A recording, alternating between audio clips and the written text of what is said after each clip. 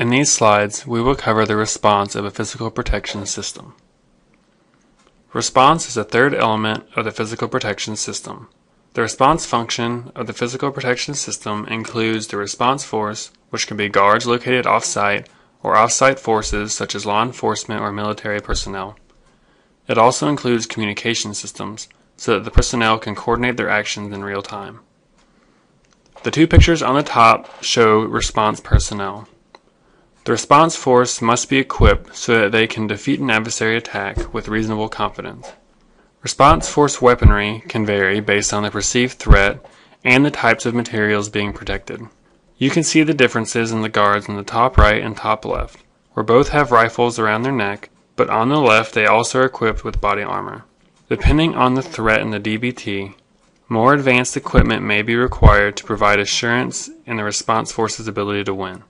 These can include machine guns, shown with the guard on the top left, remotely operated weapons, shown on the bottom left, or armored vehicles, shown on the bottom right.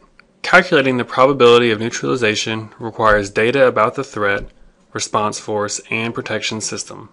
Information about the threat includes the number of adversaries, the types of weapons they use, their level of training, and their tactics, which can include stealth, diversions, or multiple simultaneous attacks. What an adversary will actually bring to an attack cannot be determined with certainty, so the neutralization probability will need to be calculated for a variety of weapons and tactics to determine the worst case scenario for the response force. The other data required to calculate the probability of neutralization are known and include the numbers of response force, their weapons, training levels, and response procedures. Information about the physical protection system must be included in the neutralization analysis such as the types and locations of detection and delay elements. The calculation of the neutralization probability requires combining all of this data in a consistent methodology. The easiest and cheapest way is computer simulation. Computer simulations allow for the detection and delay features of the facility to be modeled, as well as the weapons and shooting proficiency of both the adversary and response force. Then various adversary tactics and response force procedures can be tested. Other than computer simulations, neutralization analysis can be done using tabletop exercises or force-on-force exercises, where a team of adversaries stage an attack on the facility. Force-on-force exercises are expensive, but can be used to provide real-life data and verify results from computer simulations. The probability of neutralization can then be calculated using the simple equation of the number of wins divided by the number of engagements. A meaningful value of Pn requires that a statistically significant number of simulations are run for the same initial conditions.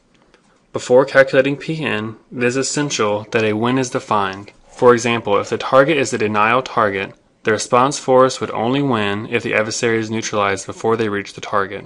If the adversary reaches the target, even if the target is not successfully stolen or sabotaged, it would not be a win. Multiple possible attack strategies and adversary equipment exist, and simulations will need to be run for each combination to ensure there is not a vulnerability in the response system. The response force can be equipped with a variety of equipment to deal with the spectrum of threats that exist.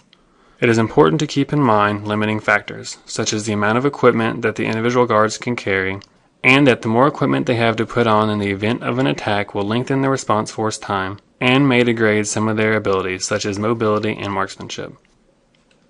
The physical protection system design must include a detailed description of the rules of engagement.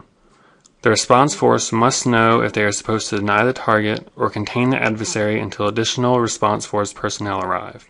In the event of an alarm, forces must know where to report.